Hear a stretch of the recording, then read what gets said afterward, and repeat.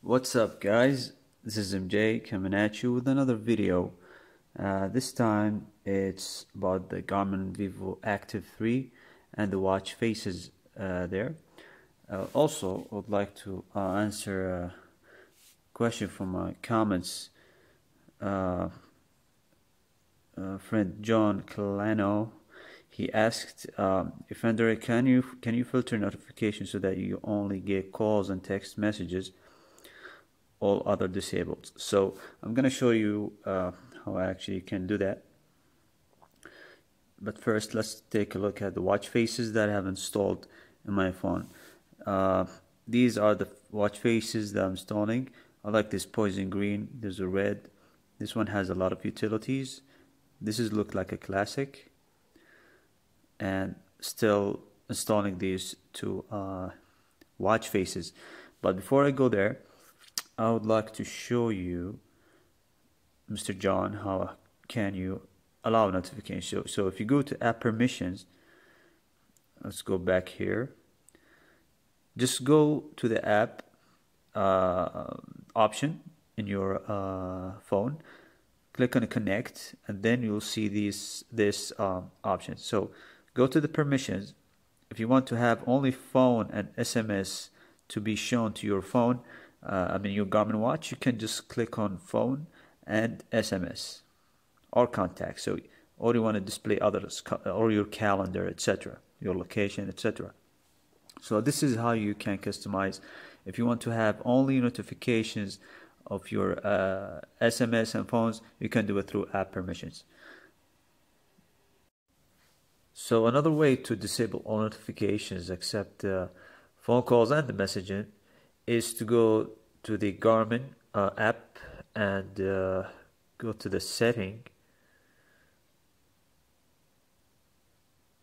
If you click on the setting you will see notification and smart notifications.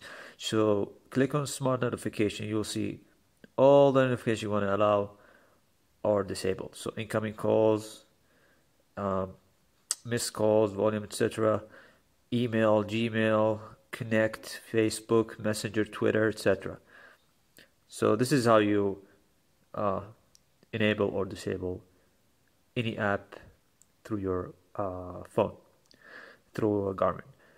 Otherwise, just use the app as I explained before through uh, permissions. If you want to only allow the phone or only have the SMS, it's up to you. You go back to the watch faces let's take a look at the watch what I have installed this looked like a sporty one. If you're driving in a Ferrari or something this will look nice on you.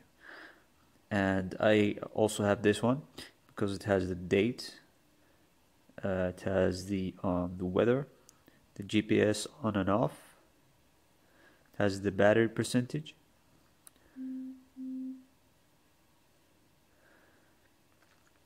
Um, this is also a new one. It shows you the calories, the heart rate, the date, the time. This one looks like a classic one.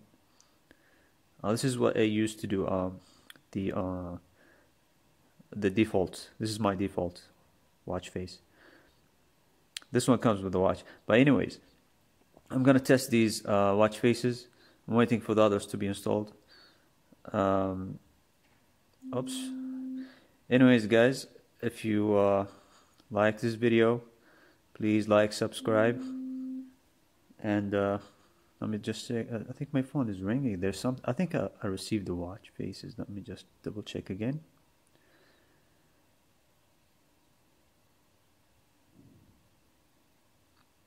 Alright let's take a look at the phone